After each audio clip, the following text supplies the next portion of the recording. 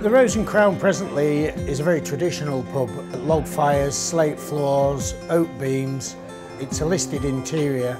It's a little bit younger down there in the evening. Has a good selection of wines and real ales. The kids organise events themselves in there. A huge beer garden at the back.